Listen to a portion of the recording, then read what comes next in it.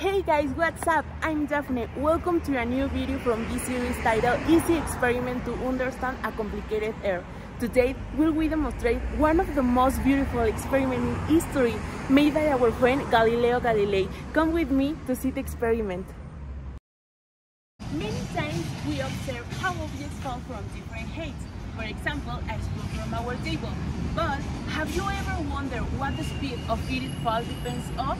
It will be the weight carried by the object or the force of gravity. Before of the 19th century, heavier objects were believed to fall faster than lighter objects. But Galileo Galilei questioned these beliefs and showed us something more impressive. So let's go conduct the experiment to support Master Galileo's theory. To perform this experiment, we will need two plastic bottles. I decided to decorate them a little to make them look prettier. You can decorate them if you wish. Make sure that the decoration doesn't involve a great weight for the bottle because it can influence the result of the experiments.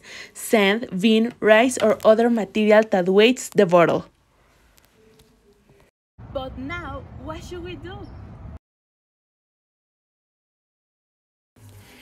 You must fill one of the bottles with bean, sand, or rice.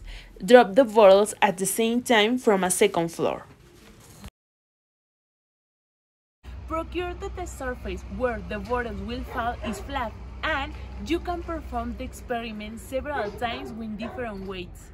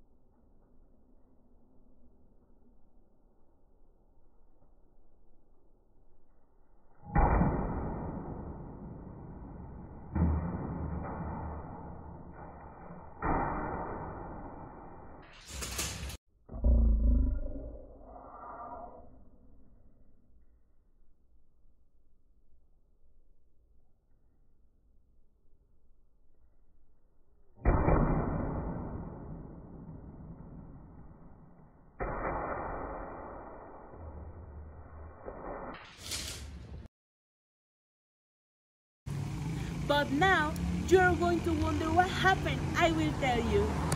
Both bottles land at the same time, even if they have different heights. This experiment is amazing. The experiment may fail if one of the bottles is too light or the surface is flat. A resistance can slow down the speed of failure.